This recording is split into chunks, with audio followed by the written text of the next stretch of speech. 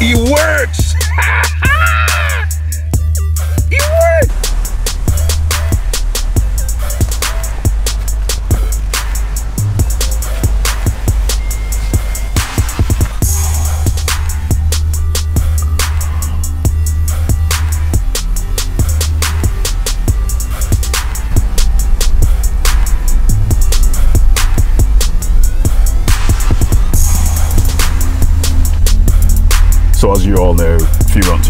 I upgraded my instrument cluster and it's great so far. Everything works and I love it so far.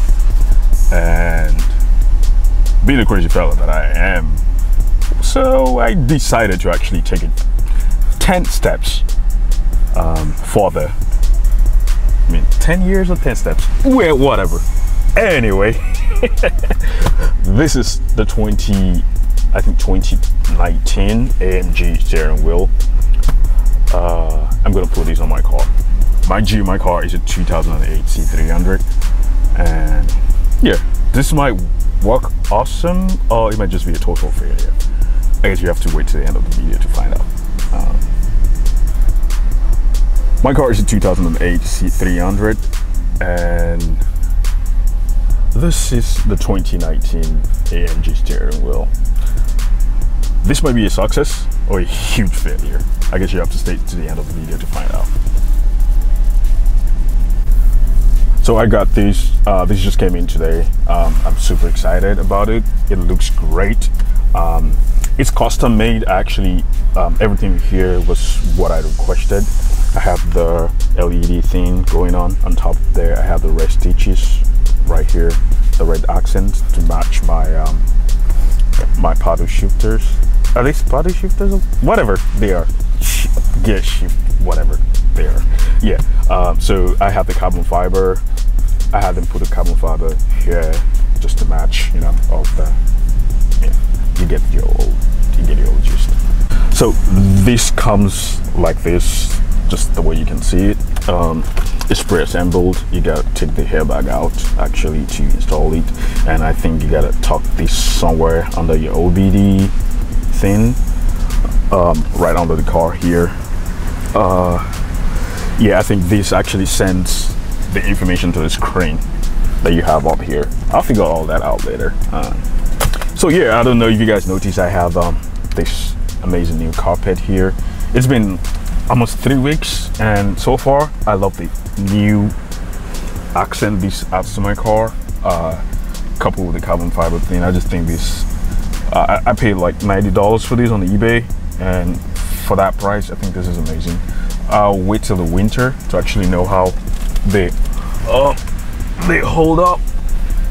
Uh, but you know, overall, it's it's an amazing upgrade. Um, all right, let's get back to the steering wheel. All right, so I have, I've already done an upgrade to my steering wheel before from my um, regular old one that came with the car.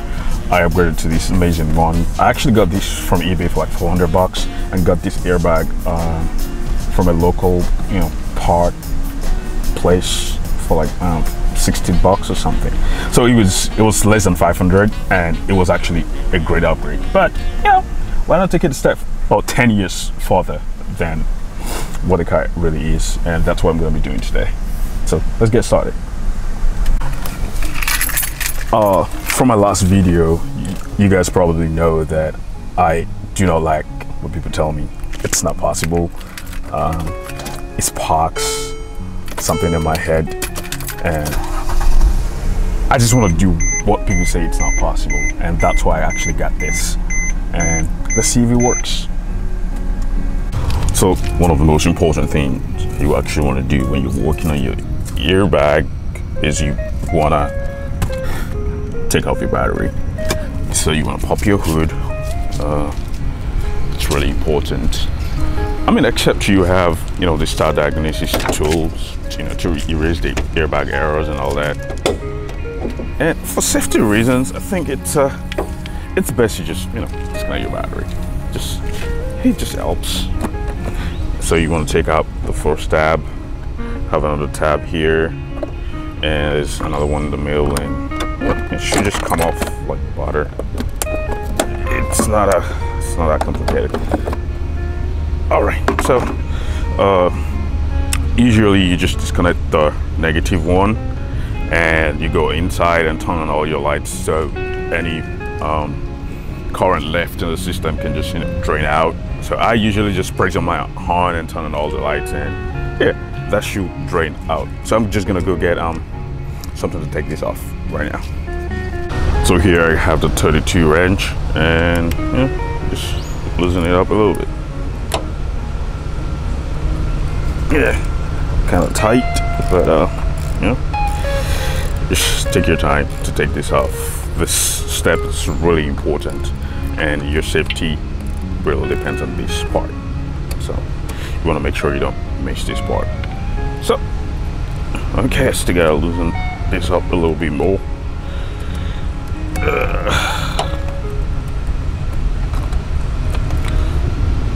Okay. Yeah. All right, that comes off, and um, yeah, just want to make sure it doesn't go back, and that's it. So guys, what you notice now at this point is, um, you know, you took your battery out. You, when you come to the back of, depending on the kind of um, steering wheel you already have, but there are usually two holes, one on this side, one on the other side, and it's being loosed by uh, T25. So you just put it in.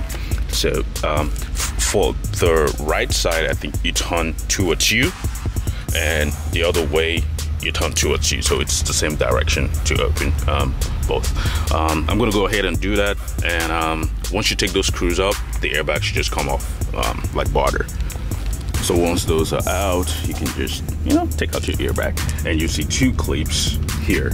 So um, you just want to use a flat head to loosen up the top and the bottom of the yellow and the brown one. And you pluck it out. So you have these two clips here. I just want to use a flat head and press those two. And it should come out after that. So this guy right here, you're gonna need this HW10. Uh, I think this is 50 pounds of torque. Um, this is very important guys because you can't take this out without something this powerful. I've seen other people use pipes and all sorts of stuff, but this just work. I think I pay like $12 for this at AutoZone this is really useful uh, I just want to put that in there and just break that um, I wish I could record this part but um, yeah it's, it's hard to film with all this but I'll try. Okay. This is gonna take some life out of you guys. Uh, I mean I did this before and it wasn't funny but I guess I forgot how hard it really is. But you really gotta hold hold your steering wheel here and pull these down. Like you don't want to leave the steering wheel so because you don't want to damage anything on the back end. So you want to hold these down and you know with brutal force you want to pull that down and once that is done you should be able to take these all out. And um, trust me it's not as easy as it looks. So one thing you want to keep in mind you, are gonna need these um this tight something bun thingy. You're gonna need that uh, later. Okay so what I like to do but we'll not be using this steering wheel again but you know you just want to make sure your steering wheel is as straight as possible so that way you know you don't um, you don't screw things up. Basically. Uh, so once that is done it comes off. Just like that. Just like that. It's not um, it's not that hard. And at this point we want to get our new fancy. Look at that. This is gorgeous. Like this is perfect. This looks beautiful. Like guys like you, you have no idea how excited i am with this one. Um yeah you just want to put this back on there and uh yeah. All right let's go. So like i said earlier it's very important that your um that your steering wheel when you park in your car that you um, make sure it's it's as straight and as centralized as possible because I mean you don't want your steering wheel to be crooked when you're driving around yeah I mean, your car will still drive straight, but you know, yeah, you don't when you're steering wheel facing some other direction. So you just want to click, depending on the type of steering wheel you get. If you got the same one that I got, you just want to click that back in there. Uh, I'm trying to look at this, see how straight it is, just to be sure I'm doing the right thing here. Yeah, it looks like look like it's it's straight. Yeah, it looks straight to me. And um, yeah, you want to put your. I actually bought this from AutoZone. You know, it's it's not the blue one, it's the red one, but you know it's it's, it's, it's just as good. So you want to put that back on your bolt before bolting it back. That's just to ensure that you know the the bolt stays in place. Just want to put a little bit uh, just want to put a little bit on here, yeah, just uh, you know, just enough to keep everything together where it should be. All right, and um, go ahead and put this bad boy back here, and you're gonna need your wrench to tighten it up. Just you know to make it as tight as it was when you took it out. So hopefully you guys see me do this this time around. Uh, you just want to make it as tight as possible. Just uh, you want to make sure this is as tight as possible. Uh, I cannot stress this enough, guys. Uh, you don't want your steering wheel falling off on you when you're driving. So if you're not sure of the specs for the torque, you can go to you know your user manual or your manufacturer's website and just see you know how much pound of torque you need to apply. Yeah. I think mine is tight enough. Um, I'm gonna get some help on this much later but um, yeah it should be good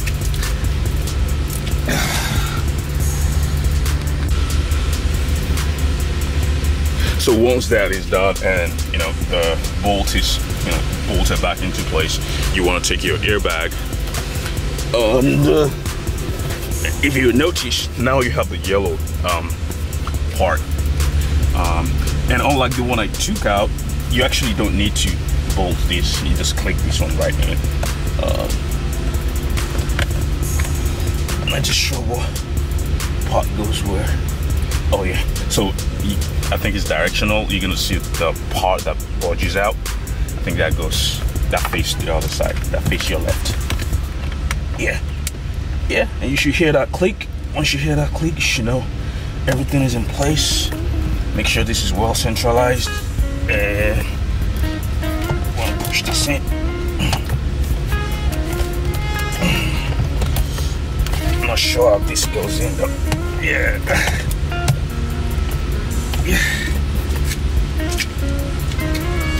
so I do know to remove it I have to press something on the side. I think probably I have to repeat the same steps here. Not quite sure. I hope I don't break this. So I think you just push this in and once you hear that click it should be good and one more thing that these actually came with is this OBD thing. So I think this is actually uh, what you connect to your car that sends the information to the screen. Uh, that way you're able to see what's going on with the car, what your speed is and all the information, your RPM and all the, all those other sweet stuff. Uh, all right, so I'm gonna go ahead and plug this in. And this is great because um, it actually comes with one extra. So when you plug this to your OBD port you still have access just in case you want to plug another thing there. I think that's really cool. Um, so I'll go ahead and uh, hook this up right now. Uh,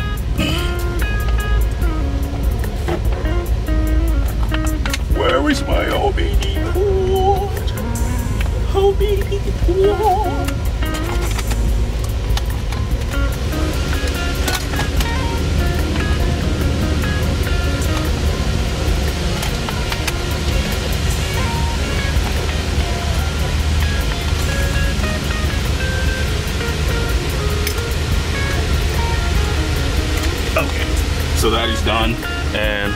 let's go ahead and put a battery back and just look at these guys. This is this looks great.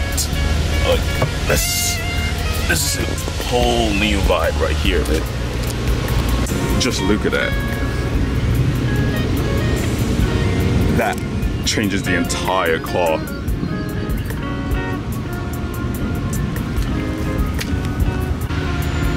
Once you're sure everything is installed the way it should, uh, we can go ahead and put back our battery.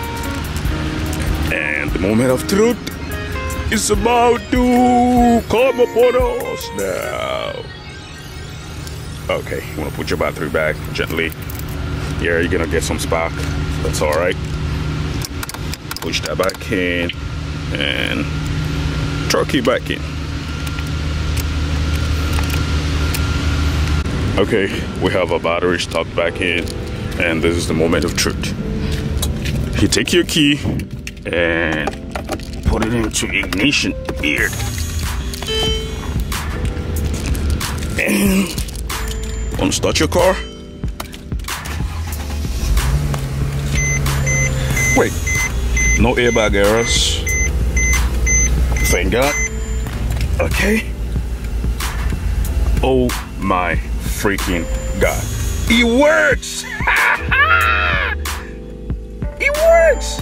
Okay, so scroll down here. Oh my God. Scroll down to the side. Oh, shoot! Oh, shoot, it works, guys! you do not know how excited I am right now. It freaking works, guys! It works! All right, so let's try this. Oh my God, everything works. Uh, cancel. Oh, they did mention that um, the cruise control option is not gonna work. You're still gonna have to use your, I mean, I understand. Um, that's not a big deal to me. I don't give a hoot about that. Um, I still have my cruise control stick here, but that aside, dude, it works, man. Okay, let me try the paddle shifters.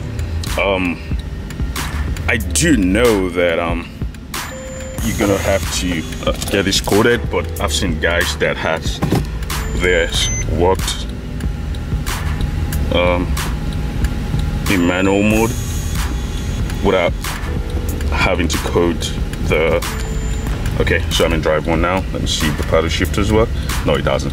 So i'm, I'm gonna have to get that coded. I'll give, keep you guys updated with that one. But in the absence of that this is great. Um, let's see if my volume works um, okay um, yes it does work. I'm trying not to play that music um, for copyright reasons. You know how it is. Um, yeah but the volume works. Um, i don't know if you can see that moving. It works great.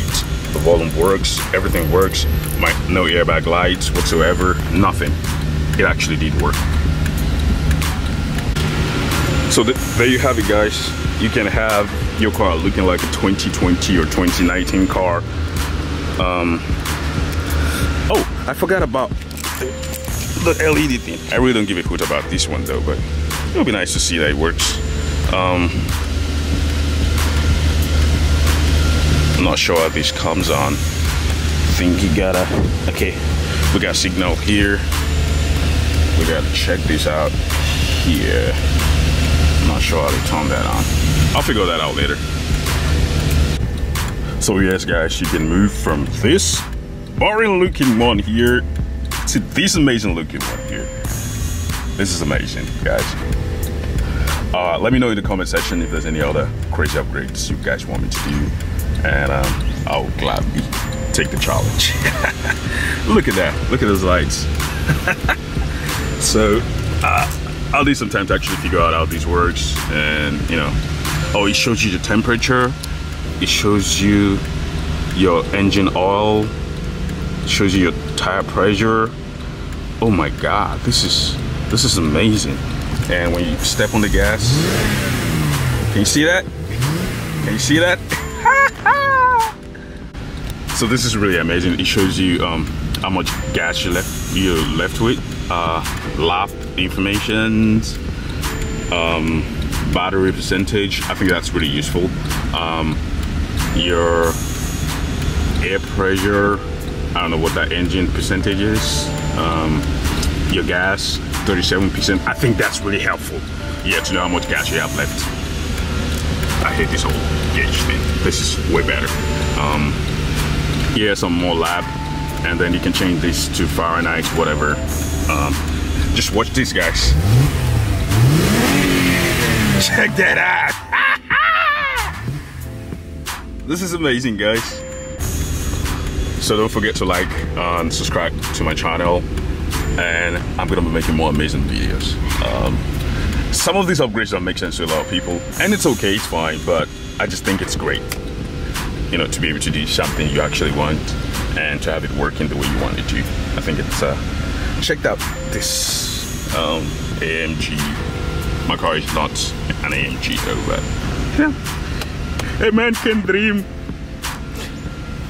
Yeah, but I really like this whole thingy. It's, it's perfect. I love this. All right, thank you guys for watching. Don't forget to subscribe and I'll see you some other time. Peace.